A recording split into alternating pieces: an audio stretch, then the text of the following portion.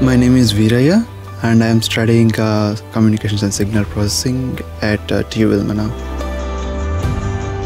I did my bachelor's in electronics and communication engineering.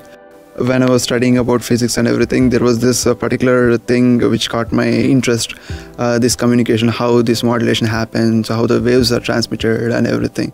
You need to know mathematics, and one major concept which is implied in the subject is linear algebra for myself, I'm working on 5G technologies, um, and the respected uh, department for that will be Communications Research Laboratory.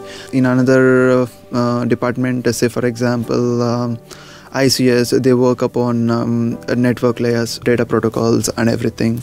So there are different departments where you can work, and uh, all these together make CSP.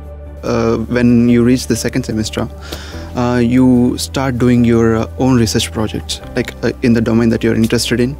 And uh, that will give you a lot of knowledge because you're working almost on very new things.